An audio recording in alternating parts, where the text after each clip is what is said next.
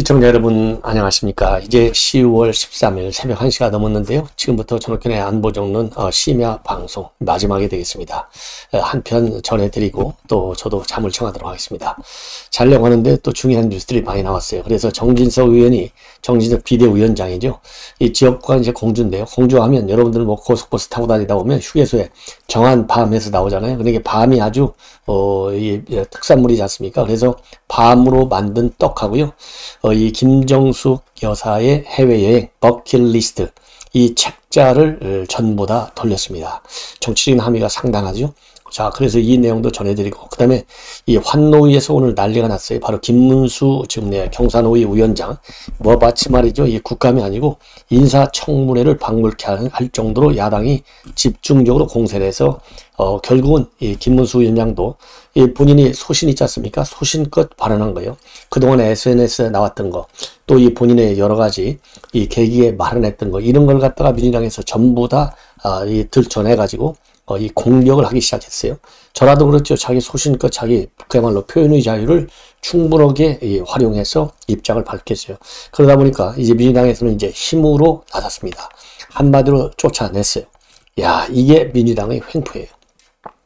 자, 쫓아내니까 우리 국민의힘 의원들도 동시에 김문수 위원장과 함께 전부 퇴장했습니다. 그래서 이 환노위 오늘 가장 뜨거운 어, 위원회가 됐다라는 말씀을 드리고 그리고 민주당이 예, 그야말로 수적 횡포를 그야말로 어, 뭐라 그럴까요? 예, 자기네 아주 이 전형적인 어, 수단으로 지금 활용하고 있는 점 반드시 역풍을 맞을 것이다. 이런 생각이 듭니다. 그리고요, 지금 이제 쌍방울 그룹에 대한 이 검찰의 수사가 굉장히 강도 높게 진행이 되고 있는데요. 이 쌍방울에서 말이죠. 이 가상화폐 거래소도 만들려고 어, 시도를 했고, 그 다음에 이 그림을 지금 거래할 수 있는 NFT 사이트도 만들어서 이거는 지금 운영되고 있다. 이런 보도가 TV조선에 단독으로 지금 예, 보도가 되고 있습니다. 그래서 이 쌍방울에서 가상화폐 거래소를 만들려고 했던 건데 이거는 결국 뭡니까? 자금 세탁하겠다는 거 아니겠어요?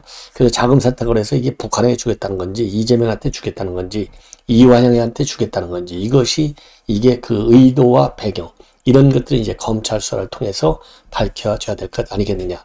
이런 가운데요. 이 박원순의 대북, 이 코인 거래 관련된 이런 의혹도 제기되고 있어서 오세훈 시장이 오늘 국감에서 말이죠. 이것도 필요하면 수사 의뢰하겠다라는 입장을 밝혔습니다. 이러한 중요한 뉴스를 가지고 어, 심야 방송에 여러분들께 분석해 드리도록 하겠습니다. 자, 먼저요. 이 중앙일보의 단독 보도에 이어서 이제 다른 보도도 다른 언론들도 모두 보수, 보도, 어, 보도 를 하고 있어요. 그래서 정진석 위원장이, 비대위원장이 오늘, 어, 이 매우 특이한 일을 한 겁니다. 이 국민의힘 의원, 어, 이 소속 의원실 전체다가요, 공주 밤으로 만든 떡, 그리고 책을 한 권 돌렸어요.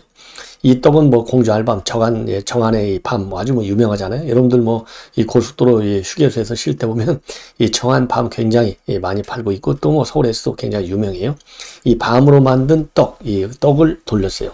근데 이제 이 국감 때 수고한다고 그래서 과거에도 보면 간식을 보내는 경우는 있지만은요, 이, 어, 이렇게 떡을 함께 배달해, 떡과 함께 책을 배달한 것은 이번이 처음이라고 합니다. 그런데 이 책은요, 중앙일보의 남정호 칼럼리스트가 썼던 김정숙 버킷리스트의 진실, 이런 책이에요.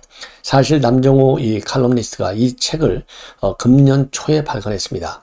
근데 이 금년 초에 발간했는데 이게 상당히 좀 의미가 이 사정이 있는 책이에요. 어떤 책, 사정이 있느냐?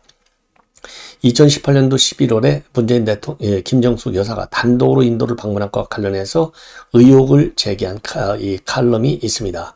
바로 김정숙 여사의 버킷리스트 그러면서 2019년도 6월 11일자 이 칼럼이에요. 이 취재기를 담고 있는데 이 칼럼이 공개되니까 청와대가 강하게 반발하면서 어, 이거를 가지고 이제 뭐 고소까지 했어요. 그래서 결국은 남정호 칼럼니스트가 어, 승소를 했죠. 자, 그런데 이거를 갖다가 아, 최근에 이 올 초에 김정숙 버킷리스의 진실해서 책을 어, 책자로 발간했습니다. 자, 요즘 어떤 문제가 가장 중요한 것 중에 하나죠. 바로 김정숙 여사가 인도를 혼자 왜 갔느냐, 뭐 때문에 갔느냐, 가서 누구를 데려갔느냐. 보니까 청와대 직원들 13명을 데려갔다. 그리고 예산은 본래 도정환 장관만 갔으면 2,500만 원이 들었어서 충분한데 이 전, 전용기 그야말로 공군 2호기 동원하니까 그것만도 2억 5천만 원. 그래서 총 3억 5천이 더 들어서 4억을 들었다. 이거를 국가 예비비로 편성해서 아주 3일 만에 전격적으로 배정할 정도로 무리하게 예, 인도 홀로 관광, 관광을 했다. 이게 지금 큰 이슈가 되고 있잖아요. 그 많은 어, 이 스토리를 갖다가 이 책이 담고 있는 거예요. 그래서 이 책을 줬다는 얘기는 우선 어, 이 김정순 여사의 버킷리스트가 어떻게 되어 있는지 자세히 알고 이걸 가지고 지금 이 김정숙 여사, 지금 김건희 여사에 대한 이 야권의 비판이 말이죠. 이 상식적인 수준, 인내 수준을 벗어날 정도로 심하지 않습니까? 이거 맞받아칠 수 있는 호재가 바로 버킷리스트의 진실 속에 다 담겨져 있는 것 아니냐. 그러니 이 책을 좀 잘 활용하라. 이러한 취지가 아니겠습니까? 당연히. 더군다나 이 김정수 여사 인도 방문과 관련해서는요. 그동안에도 의혹이 제기 많이 됐었지만 이번에 이 배현진 의원이 지난 5일 날 처음으로 외교부 문서하고 외교부 담당자들의 증언을 저 증언을 바탕으로 해서 도종환 장관이 갔으면 되는 것이었다. 그런데 도종환 장관이 가려고 다 준비를 하고 있었는데 느닷없이 김정선 여사가 가고 싶다고 그래가지고 우리가 먼저 인도 측에 가겠다라는 그게 옆구리 찔러서 저를 받아가지고 인도가 할 수 없이 초청장을 보내오게 되는 그래서 그동안의 문재인 정권이 우리 국민을 상대로 해서 얼마나 이 김정숙 여사 인도 방문과 관련해서 거짓말을 했는지 이거를 만천하에 폭로했어요. 그리고 예비비 사업도 들어간 거. 그리고 이제 최근에는요, 어, 이 명장 조리사까지 따라가고, 어, 따라갔다는 점. 그리고, 어, 이제 김정숙 여사의 단골 디자인의 딸도 거기에 더군다나 불란서 국적을 가지고 있는 사람인데, 이 사람을 맡다가 이 청와대 총, 어, 이 총무 비서관실에다가 특채를 해가지고 외국인 국적을 가진 사람을 썼다. 이런 것까지 지금 비리 의혹이 많이 나오고 있습니다. 이런 상황에서 이 책을 준 것은 이 정치적 함의가 제가 말씀드린 대로 상당하다. 이렇게 지금 내 판단할 수밖에 없어요. 그래서 이와 관련해서 조순일 의원은 지난 11일 날 이 국정감사에서 말이죠. 감사를 해라. 아, 그리고 최재 감사원장도 검토하겠다라는 어, 입장을 밝힌 바 있어요. 자, 이러한 상황에서 말이죠. 어, 지금 이제 이 특히 이 버킷리스트와 관련해서 우리 국민의힘에서는요, 이 권성동 의원이 대대적으로 여기에 대해서 비판하는 입장문을 또 내놓고 있습니다. 자, 그래서 입장문을 내놓고 있고요. 어, 이 권 의원은요, 어, 지금 이제 보드게임, 보드게임 브루마블의 게임판을 패러디한 BH 마블 게임판 사진을 공개했어요. 그래서 이 브루마블 게임이라고 하는 것은 여러분들 뭐 잘 아시겠지만은 세계 여러 나라의 명소를 여행하는 거 이거를 갖다가 컨셉으로 잡은 게임이에요. 그래서 이 권성동 의원이 공개한 BH 마블 게임판에는요. 캄보디아, 인도, 베트남, 노르웨이, 러시아, 독일, 이집트 즉 김정숙 여사가 순방한 나라들이 명소가 쫙 적혀 있어요. 그래서 김정숙 여사는 국민 열세로 가고 싶은 곳을 가서 하고 싶은 것을 했다. 그래서 김정숙 버킷리스트라는 소리를 듣고 있는데 전 세계 관광지를 향한 혈세 부루마블은 끝났다. 하지만 실체 규명과 책임을 위한 국민 버킷리스트는 이제 시작이다. 철저한 조사가 필요한 이유다. 이러한 입장을 어, 지금 내놨습니다. 그러면서요, 특히 문제가 되는 거, 2018년도에 인도, 그리고 체코와 프라와, 그리고 올 1월에 이집트 방문을 문제의 어, 그야말로 관광성 외 이유로 아주 강력하게 지적을 하고 있습니다. 자, 그래서 여러분들께서 어, 이 사진을 보면요. PH 마블 게임 since 어, 2017년 국민 혈세로 부부밥을 하셨습니까? 그러면서요. 김정숙 여사가 다녔던 쭉 나라들을 전부 열거하고 있어요. 청와대 요리사, 아, 그 다음에 뭡니까? 각 나라들, 그 다음에 대통령 전용기 예, 내용, 이 나오고요. 그 다음에 어, 샤넬 재킷도 나오고 뭐 이렇게 해서 아주 이 풍자 어, 이 어, 컨셉이 상당히 아주 잘 되어 있어요. 이런 거를 지적하고 있습니다. 자, 그 다음에는요, 이 정도로 해서, 어, 지금, 어, 문재인 대통령 부인 김정수 여사의 해외 방문과 관련된 문제점 지적해 드렸고요. 오늘 이제 김문수, 어, 이 경산호위 위원장, 예, 국회 환노위 감사에서 난리가 났잖아요. 난리가 났어요. 이 위원장은 전해철 위원장인데 전해철 위원장이 결국은 이 감사 중단을 세 번씩이나 선언할 정도로 아주 난장판이었다. 그러니까 야당이 어, 이 인사청문회 형식으로 해서 이 경산의 위원장이면 현안을 가지고서 이제 질문을 해야 되는데요. 과거 경산의 위원장이 되기 전에 에, 그, 어, 이 활동했던 그러한 이 어, 어, 글들 이런 걸 가, 발언들 이걸 가지고 전부 다 시비를 한 거예요. 그러니까 민주당이 스타팅 포인트 자체를 말이죠. 이 국감의 목표를 이 김문수 위원장을 공격해서 이 문재인 윤석열 정권의 인사 문제라든가 그다음에 노동 정책을 비판하는데 초점을 맞추다 보니까 이 김문수 위원장도 양보를 할 수가 없는 걸 아니겠습니까?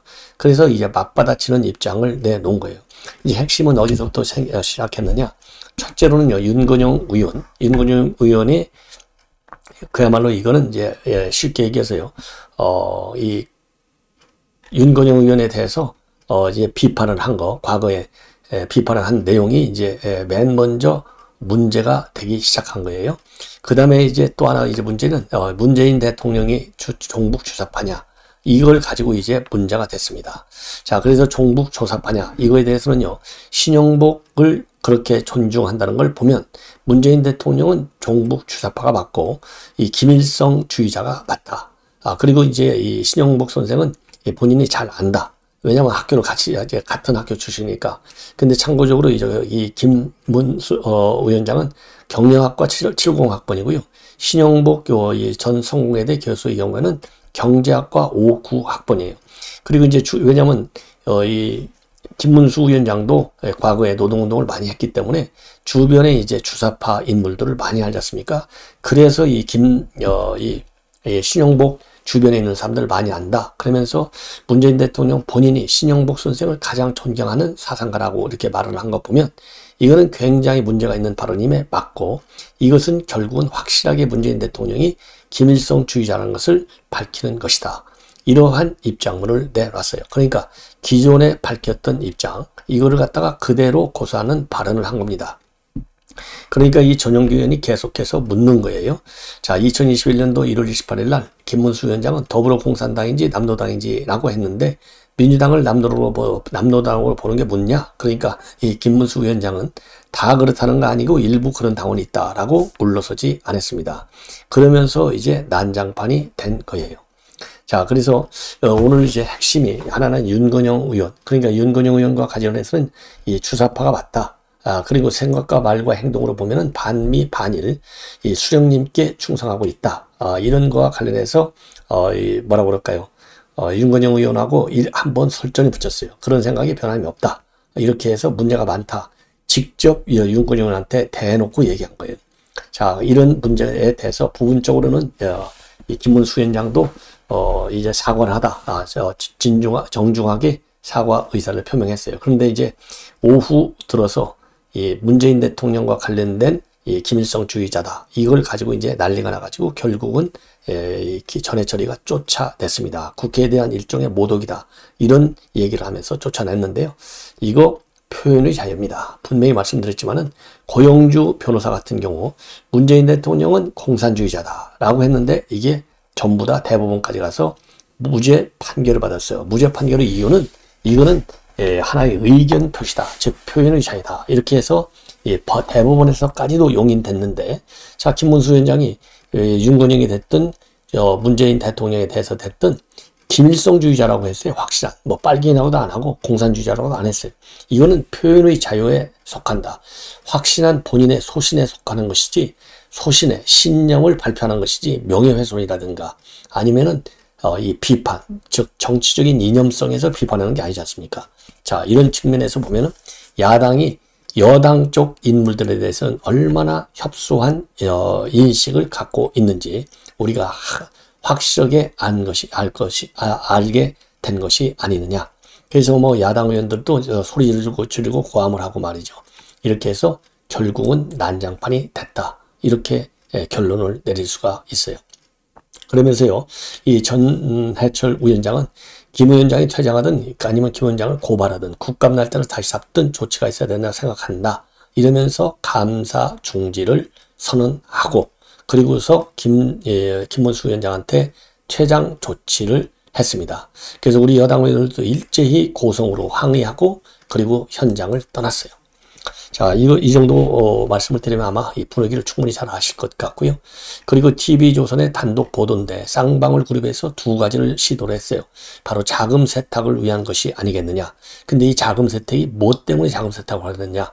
바로 김성태 해외 도피 자금을 만들려고 한 건지 아니면은 이재명이에게 뭔가 은밀하게 자금 지원을 하려고 한 건지 아니면 이화영에게 자금 지원을 하려고 한 건지 아니면은 외환안에 허덕이고 있는 이 북한 김정은이를 도와주려고 이 가상화폐와 관련된 거래소, 가상화폐 거래소를 만들려고 했는지 그리고 복제, 블록체인 기술을 이용해서 복제가 불가능한 디지털 예술 작품을 파는 NFT 거래 사이트도 만들었다고 합니다. 그리고 이 거래 사이트는요, 쌍방하고 KH그룹이 합작으로 만들어서 시범 운영 중에 있어요. 그리고 이 거래, 가상화폐 거래소는 설립을 어, 진행한 적이 있는데요. 이 설립을 진행하다가 이게 제대로 안 된 것이 바로 정부의 까다로운 인허가 때문에 이게 즉 규제 때문에 어, 성사는 되지 않은 것으로 그렇게 알고 알려지고 있습니다. 그래서요, TV조선 보도도 검찰은요, 어, 이 김성태 회장 측에서는 가상화폐 거래소, 그 다음에 NFT 거래소를 통해서 자금 세탁 또는 도피 자금을 마련했을 가능성을 두고 수사하고 있다. 이런 보도가 나오고 있고요. 그리고 이 가상화폐 거래소 설립을 어, 주도한 것으로 알려지고 있는 이 김성태 측근, 예, 김성태 측근을 최근에 압수수색하고 참고인으로 소환 조사했다. 이런 보도까지 나오고 있습니다. 그리고 쌍방울 사업의 대북 사업과 관련해서 의혹이 제기되고 있는 어, 이 단, 어, 단, 어, 단체죠. 이게 동북아 평화경제협회예요. 그래서 최근에 말이죠. 동북아경제협회 사무처장 신모 씨를 참고인 신문으로 소환 조사했고 압수수색을 단행했다라는 보도가 나오고 있습니다. 자, 그 다음에는요. 지금 이제 김의겸이가 어, 이 박원순과 이재명의 대북 코인 사업 관련해서 처음으로 지난 국회에서 6일날 국감장에서 문제 제기를 했어요. 자 그러다 보니까 오늘 서울시 국감에서도요. 우리 어, 여당 의원들은 이 박원순의 대북 코인 사업과 관련해서 조사를 해야 될 것 아니냐. 이거야말로 이적행위다. 이러한 지적이 있었습니다. 그래서 지금 오세훈 시장의 경우에도 이 부분에 관해서는요, 어, 어, 이 상황을, 어, 관련 내용을 검토해서 필요하다면 수사 요청을 검토한테, 어, 수사 요청을 검토하도록 해 보겠다 라는 입장을 밝혔습니다. 예. 자, 그리고요. 지금 이재명이가 2억대 방산 주식에 투자해가지고 지금 논란이 야기되고 있는데요. 지금 이, 이 당에서는 이걸 밝혔어요. 당에서는 예, 투, 어, 뭐 뭐라고 그럴까요? 여기에 대해서는 네, 백지 신탁이라든가 등등 국회 차원에서의 이미 심사 어, 검토를 의뢰한 바 있다. 그러니까 아무 잘못이 없다는 것이죠. 그럼에도 불구하고 오늘 이제 기자들이 물었어요. 그랬더니 이재명에 대해서는 여기에 대해서는 이재명에는 입을 꾹 닫고 답, 답을 안 했습니다. 어느 정도 주식을 갖고 있느냐? 한국조선해양과 현대중공업 주식 2억 3천만 원 상당의 주식을 가지고 있다. 이렇게 신고를 했습니다. 예. 자, 그래서 제가 보기에는 이거는 뭐, 어, 이, 이 주식을 산 것 자체가 투자성이 강하고 아주 어, 이 이재명의 이런 돈에 대한 관심 이거는 아주 상당하다 상상을 초월한다 이렇게 보여집니다. 자 그러다 보니까요 예, 까도 까도 계속 비리가 나오는 까도남 이재명 청산의 깃발을 들 때가 되었다. 그러면서 이재명과 그 다음에 민노총 그리고 김정은은 우리 대한민국의 삼적이다. 이러한 입장을 김기현 어, 지금 의원이 내놓았습니다. 자 이렇게 해서요. 어, 지금 이제 정치권이 말이죠. 이재명의 여러 가지 이 불법성이 계속해서 어, 이 폭로되고 있는 그런 시점이다. 이렇게 보여집니다. 자, 이제 그리고 마지막으로요. 지금 이제 북한의 핵 문제가 심각해지다 보니까, 어, 지금 이제 이 정진석 이 비대위원장도 우리가 어, 한반도 비핵화 공동선언을 이제는 파괴해야 되는 거 아니냐, 이런 얘기를 하고 있어요. 자, 그래서, 어, 지금 이제 핵 문제를 어떻게 다룰 것이냐라는 그런 네, 안이 본격적으로 이제 거론되고 있는데요. 그러다 보니까 전술핵을 재배치해야 되는 것 아니냐, 이런 입장도 나오고 있습니다. 그래서 이 정부에서는요, 이 모든 옵션을 검토하겠다. 이렇게까지 지금 입장이 나오고 있어요. 그래서 지난 8월 달만 하더라도요, 취임 100주년, 아, 취임 100일 기자회견 당시에는 이 핵보유나 핵균형 주장에 대해서는 NPT 체제에 대해서는 끝까지 포기하지 않고 지켜낸다. 이렇게 해서 전술핵 배치와 관련해서는 부정적인 뜻을 밝혔는데 이번 최근에 들어서는 이제 모든 옵션을 테이블에 올려놓고 검토하겠다라는 상황으로 이 선택지를 넓히는 방안을 지금 정부 당국에서는 아주 신중히 검토하고 있는 상황이 아닌가 이런 판단이 듭니다. 시청자 여러분 이렇게 해서 오늘 심야 방송은 모두 마치겠습니다. 편안히 주무십시오.